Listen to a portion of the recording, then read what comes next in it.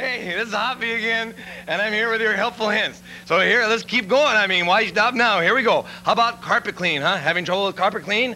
How about spot removing? Okay, spot removing. You want to remove those spots? Let me show you how to remove those spots. Okay, you just take some shaving cream like this.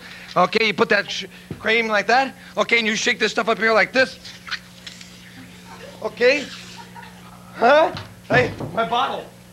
Excuse me here. Huh? Okay, you got that there? And you just kind of rub that in? Huh? Look at that sucker come clean, huh? Oh boy, and we got it there. There goes all my things there. Huh? Hey, you want to remove red, red wine stains?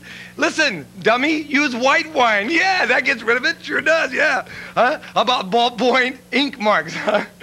Saturated with hairspray. Yeah, saturated with hairspray. Allow it to dry and then brush it a little bit with vinegar and water. Hey, see, we're back to our vinegar again. Here's vinegar and there's vinegar too. See, we're back to all those things and it's not bad. Hey, how about clothing and shoes? You want to remove that gum? Sure. Put the garment in the plastic bag? Sure. Put it in the freezer, take it out of the freezer, peels right off. Nothing to it. Got a sticky zipper? got a sticky zipper?